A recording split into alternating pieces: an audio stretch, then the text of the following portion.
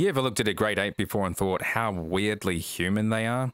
Well, there's a good reason for that. Humans like you and I belong to a group of mammals scientifically categorized as hominidae, more commonly known as great apes. Other members of this group include gorillas, orang orangutans, orangutans, bonobos, and chimpanzees. We humans share about 96% of our DNA with chimpanzees, and our closest genetic relative is actually the bonobo, with whom we share 98.7% of their DNA. It's statistics like these that have intrigued geneticists and zoologists for decades, sometimes to the point of conducting strange and creepy experiments. Soviet scientists, chimpanzees, and human hybrids. It's Weird Wednesday.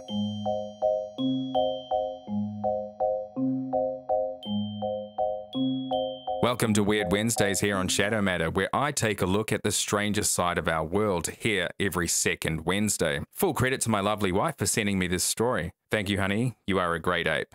Love you, monkey. Humans, chimpanzees, and bonobos are more closely related to each other than they are to other primates. Great apes are all closely related genetically, and going back through the centuries, this genetic relation has fascinated scientists. Theories of crossbreeding humans with our wild relatives has long been pondered since the European expansion into the continent of Africa. And that's how it remained for centuries. Just theories. In the early 20th century, Soviet scientist Ilya Ivanov went a few steps further and attempted to create a human chimpanzee hybrid, first in French Guinea and later in the USSR. Yeah.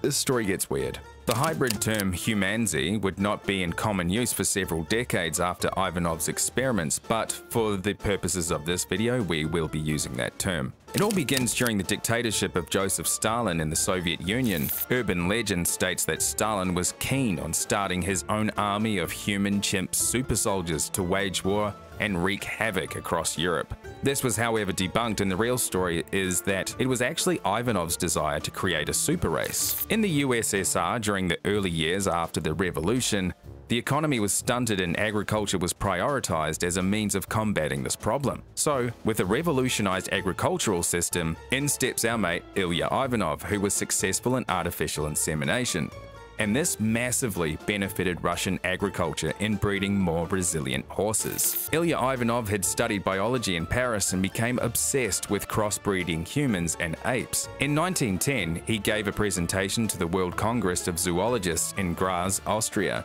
in which he described the possibility of obtaining a human-ape hybrid through artificial insemination. Ivanov proposed that such a hybrid would be stronger, more intelligent, and more resilient to human diseases, he also saw the potential for super warriors. Old mate couldn't do it on his own, however, and during the early years of Soviet rule and Russian communism, academia and scientific experiments weren't always known to get the proper funding. So, Ivanov branded his experiment as anti Christian, which pleased the pro atheist government. They saw this as a win for communism. Ivanov got his funding in 1926 and with thousands of rubles at his disposal, he set off for French Guinea in Africa. His plan was to capture male chimps and crossbreed them with human women via artificial insemination. The women would be paid willing participants, of course. I told you the story was weird. This plan failed for a couple of reasons. One, the chimps weren't at the age of sexual maturity and unable to breed, and two, no woman was willing to breed with chimp DNA, no matter how much Ivanov was offering, and I can't say I blame them. So Ivanov develops another plan. Use female chimps and human male DNA. The problem with this, though, is that chimps are hard to find, and even harder to catch, and harder to keep. Despite this, he found 13 chimpanzees and set about his artificial insemination. After several months, there were no viable pregnancies, there was no humanzee gestation at all. By now, Ivanov was desperate. Not only did he have a theory he wanted to prove, but he had been gifted $10,000 from a notoriously gulag friendly government to spend, so he changed tack. He decided to inseminate women against their will, under the guise of gynecological examinations. Thankfully for everyone, the French authorities found out about it and sent Ivanov home. Ivanov was back in the USSR, and despite all the setbacks, he was still determined to breed his humanzee super race. He arranged for 20 chimpanzees to be sent to Russia. but only four survived the journey. In Russia, there was no hope of paying women to accept ape insemination, not to mention dwindling funds, so he called for any woman to offer their bodies in the name of science. Five women offered to carry half ape babies. One volunteer, we know only as G, wrote this letter to Ivanov. Quote, Dear Professor, with my private life in ruins, I don't see any sense in my further existence. But when I think that I could do a service for science, I feel enough courage to contact you. I beg you, don't refuse me. I ask you to accept me for the experiment. The experiment did not result in any pregnancies, and Ivanov's reputation was on the line. Ivanov's experiments were widely reported and even hailed by the Bolshevik government, but after so many failed attempts, news died down and his experiments were viewed with a sense of moral condemnation. In 1930, during a Soviet purge of scientists, Ilya Ivanov was arrested and exiled to Kazakhstan. He died two years later. What's interesting is that Ivanov's story doesn't end there. In fact, his legacy for creating humanzees lasted long after, and even as recent as six years ago, people were still trying to breed human ape hybrids. The first person to coin the name humanzee was a doctor in the United States, evolutionary psychologist and University of Albany Professor Gordon Gallup, who developed the famous mirror self-recognition test, which proved primates could acknowledge their own reflection, claims his former university professor told him that a humanzee baby was born at a research facility where he used to work. According to Dr. Gallup, in the 1920s, in what was the first primate research center in the US in Orange Park, Florida, a female chimpanzee was inseminated with male human DNA, and this resulted in a successful pregnancy. That pregnancy even resulted in the live birth of a humanzee. The scientists obviously had second thoughts and the baby hybrid was euthanized shortly after.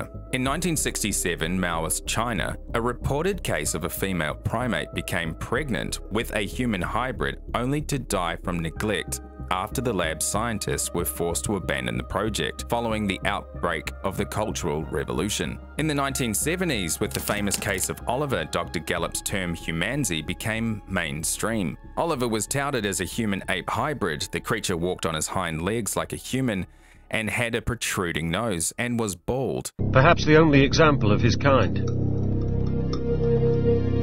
He's baffled science for the last 30 years. He's a great mystery. To look at, Oliver is certainly no ordinary chimp.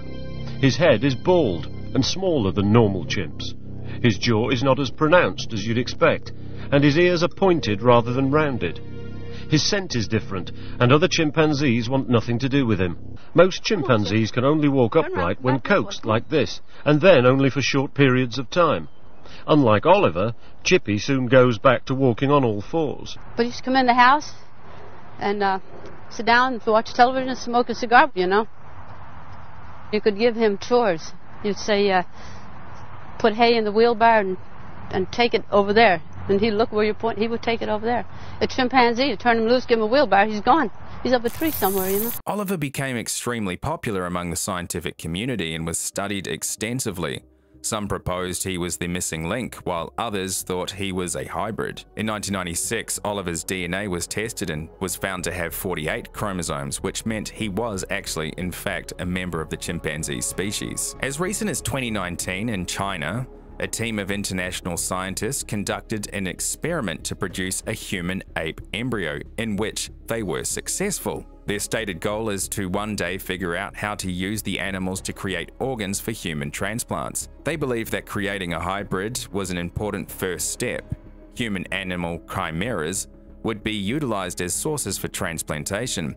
The hybrid embryo was viable for 20 days, and it was destroyed soon after. You know, because of moral reasons. I actually have a link to the lab notes on that experiment, so if you're interested, you can find it linked below. Also in 2019, Japan became the first country to approve human-animal embryo experiments. The Japanese government hopes that this will benefit humans in the field of stem cell transplant research. Whatever the case may be, it still seems a bit taboo, even by today's standards, and it's probably this taboo that ultimately holds back research into such areas. I mean, have you heard what stem cells can do? Fix arthritis, heal burn victims, cure cancer? Seriously, go look it up. It's quite interesting. Well, that's it for Weird Wednesday, the Soviet Humanzee experiment. What are your thoughts? Let me know in the comments below. And I don't want any monkey business. Okay? Like, subscribe, and hit that bell, and I'll see you again next time in the shadows.